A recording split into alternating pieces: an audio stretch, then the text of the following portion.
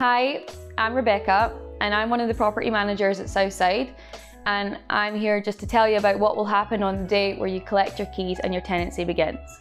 So prior to this day, you will have been sent an email from PingSign. This will have your tenancy agreement in it.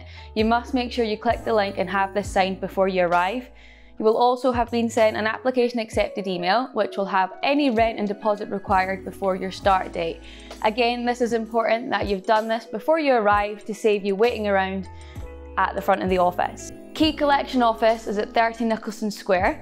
So if you just head there any time between 2pm and 5pm on the day that your tenancy starts. If you want to collect at a later date, this is also fine. Just be sure to make sure you've told your property manager. Also, if you're not available to collect the keys yourself, it is okay to send a friend or family member to collect on your behalf.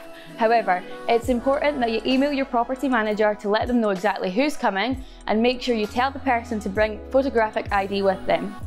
If it's yourself who's collecting the keys, you also need to bring photographic ID and make sure it's ready for us when we come to meet you at the front. We'll either be your own property manager if they're available, or if they're out of the office on the day that you arrive, you'll be greeted by one of the other members of the team. They'll give you a welcome bag from us, which will have some essentials that might help you settle in, and a tenant welcome booklet. That's really all there is to your move-in date. The main thing to take away from this is make sure you turn up with your property reference code and that your agreement has been signed and your rent has been paid because with these three things your handover will be quite smooth and fast otherwise there could be hanging about at the front.